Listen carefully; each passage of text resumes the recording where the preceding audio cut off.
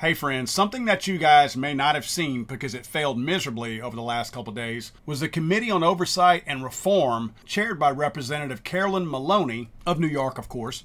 They had both Ruger and Daniel Defense essentially piped in via the internet. Uh, Mr. Marty Daniel and Mr. Killoy from um, uh, Ruger. This was absolutely a witch hunt. That's all it was.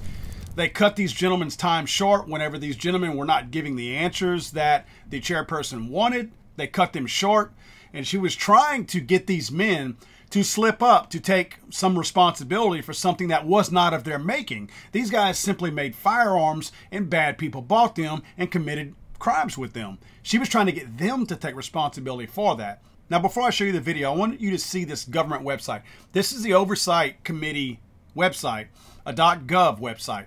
We pay for this. The taxpayers pay for this. I want you to see the wording they use on here. This looks like a website that belongs to the DNC. Again, this is being paid for by we the people. This looks like it is straight out of a Democratic playbook, and I'm appalled that my tax dollars are paying for the wording that I'm reading on this website. Now, first up, I want to show you some testimony from Mr. Marty Daniel of Daniel Defense. How many more American children need to die before your company will stop selling assault weapons to civilians and children, the weapon of choice in most mass murders in our country.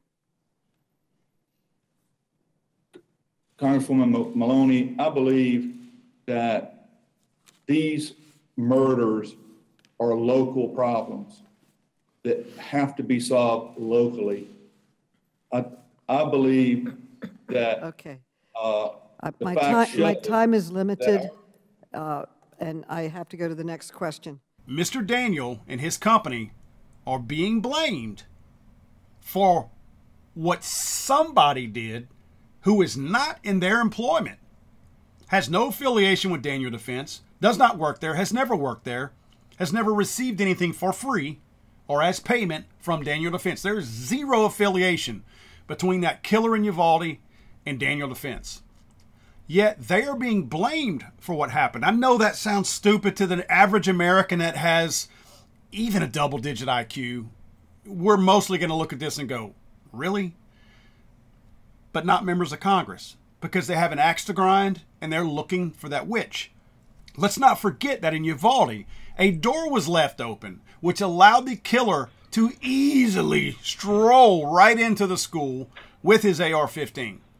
At this point, I still don't see what the brand of AR 15 matters. I'd also like to point out that between outside in the parking lot and in the hallway right outside the door where the killer was still killing people, there were 400 or so law enforcement officers there that could have easily intervened at any point and stopped this heinous crime. Let's not forget also, folks, that children who were shot after 77 minutes of bleeding out, somebody could have intervened and potentially and most likely saved lives. But we're looking at blaming a manufacturer of a rifle who had no connection to the person who decided to kill people that day. Let's move on to Mr. Killoy from Ruger. Mr. Killoy, how about you? Is there any number of shootings in schools and churches and synagogues that would convince you to stop selling weapons of war to civilians? Respectfully, uh, Congresswoman, I don't consider the modern sporting rifles today that, that my company produces to be weapons of war. And like all Americans, I grieve, you know, when we read about these tragic incidences. You ask what the industry has done and what our company has done and can do. One of the things you referenced with this, the Sutherland Springs situation. In that case, the evil person who perpetrated those crimes and committed those murders was allowed to buy a firearm that, frankly, he, sh- he should not have been allowed to do. Uh, reclaiming, reclaiming my time. And I, it seems to me that if a company really cared that its products were being used to kill scores of Americans, it would stop selling them. Same type of situation. They are trying to put this man on the hook for what happened in Sutherland Springs. Now, you guys might remember, I actually wrote about this in my book, How to Make a Monster. I'm going to point this out real quick to you guys. You want to see where the failings took place? The failings took place, uh, guess what? At the federal government level. The Air Force failed three other times to notify the FBI of events that should have triggered warnings and barred Kelley from legally obtaining weapons, according to the report. The first bungled chance occurred in June 2011 when Air Force authorities investigated Kelley for allegedly assaulting his stepchild. They collected Kelley's fingerprints but never submitted them to the FBI as required. The second lost opportunity happened in February 2012 after Kelley had been accused of beating his wife. The third time was in June of 2012 when Air Force investigators didn't inform the FBI of Kelley's video confessing that he had injured his stepson. Now, I would like to remind you that Kelley didn't just injure his stepson, he fractured his skull. He beat him so hard he should have killed him. The Air Force never submitted the information to have this man prevented from purchasing a firearm, even though he was clearly a violent offender, because they didn't realize they were supposed to. They just didn't realize that.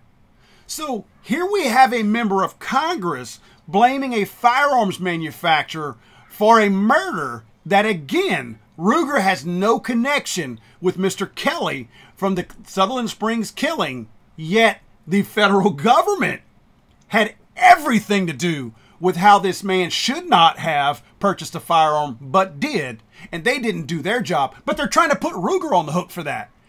This is absolute insanity. I know Mr. Calloy and Mr. Daniel too. They couldn't say the things that I'm saying. They couldn't because their feet are being held to the fire right now. So I'm saying it for them. This is not right. Mr. Calloy should have been at least felt free to say, wait a minute, you're trying to put Sutherland Springs on me? You guys are the ones that failed the people of Sutherland Springs.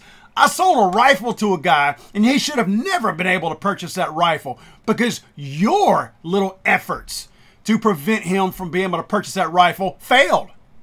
You had every single safeguard already in place, and that safeguard failed miserably because you did not do your job. I did my job. I sold my rifle to somebody legally, a dealer and that dealer sold it to Kelley, according to the law, legally, because they followed the law. They ran a background check on him, and nothing the federal government could have put in there to prevent him from purchasing that rifle prevented him. Because guess what? Again, they never entered it.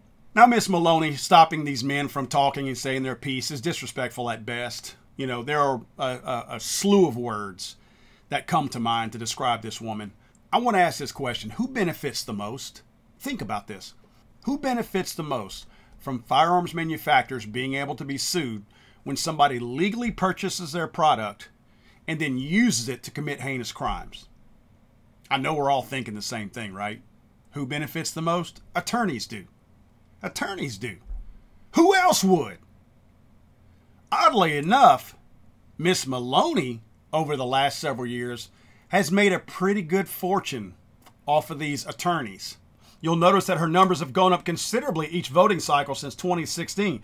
2016, she pocketed a nice little $88,000 just for being Miss Maloney from various lawyers and law firms in the United States. The following election cycle, she went up from her $88,000 a year to $104,000. Nice little increase, good pay increase if you can get one like that.